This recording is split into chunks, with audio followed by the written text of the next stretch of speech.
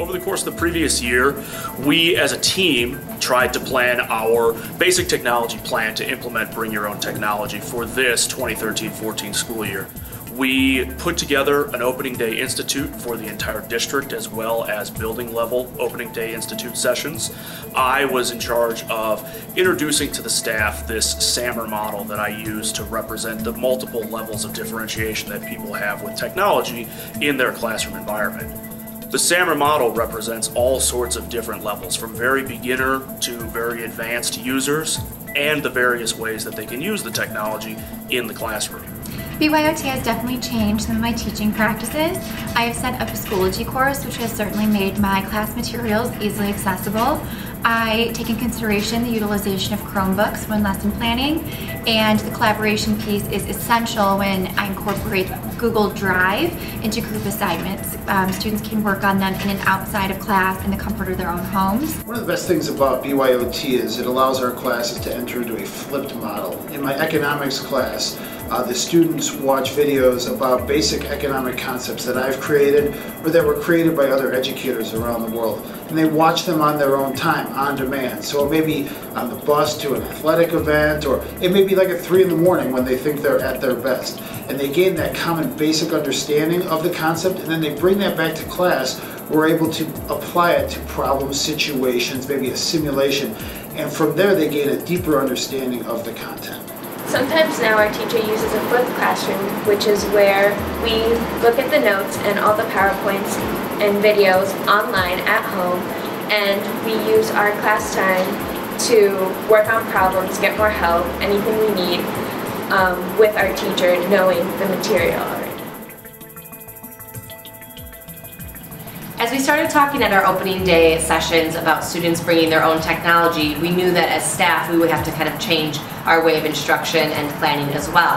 Um, a lot of teachers have used uh, lots of different technologies all along the spectrum of the SAMR model, uh, including things like Schoology um, and kind of planning their classroom website around that, giving students access when they're outside of the classroom. Uh, we've used QR codes in classes. I know in our poetry unit we added um, QR codes to the corners of, of poems, so instead of the students just reading them, they were able to hear the authors kind of speak those poems aloud um, while they're analyzing the words. Um, with the Remind 101 app, it's it's really it's easy to get um, what exactly you need to know for your classes uh, with a quick reminder here and there from a text message from your teachers. Bring your own device has really changed how quickly I can get my work done in class.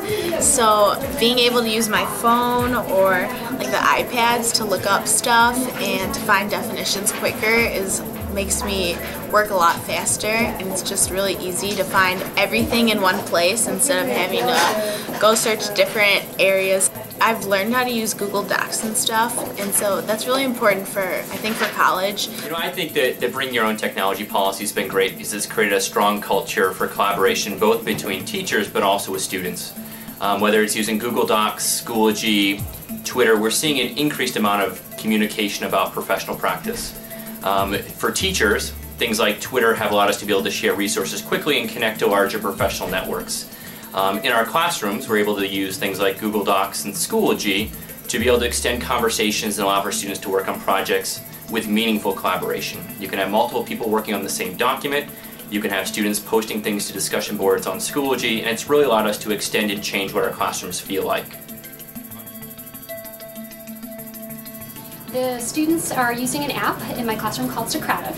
And the app is wonderful because it gives them immediate feedback uh, on their answers to the questions. So I can type in a variety of questions. It can be multiple choice, it can be more open-ended, short answer, um, and I can type in the correct answer. I can type in explanations for the correct answer. So the students really get to know right away um, what they need to maybe spend more time studying. Um, instead of doing like a review packet, we would use Socrative, and it was like taking your own time, and then once you finish, you can find out how many you got right.